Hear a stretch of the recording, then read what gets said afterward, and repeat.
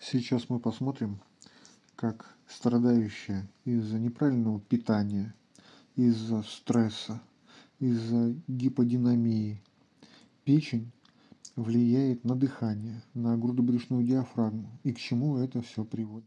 Посмотрите, как двигается диафрагма, когда мы дышим. Она расширяется, растягивается. Печень в диафрагме крепится серповидной и венечной связками.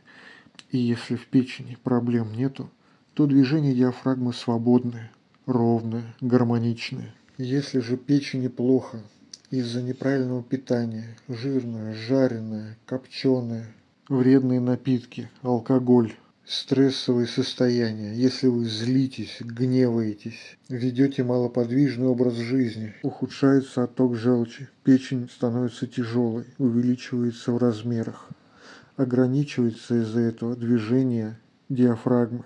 Из-за отсутствия массажного действия диафрагмы ограничивается функциональность легких, кишечника. Повышается мышечный тонус области поясницы, грудной клетки плечевого пояса. Появляется сутулость и искривление позвоночника. Из-за застоя желчи ухудшается пищеварение, нарушается стул,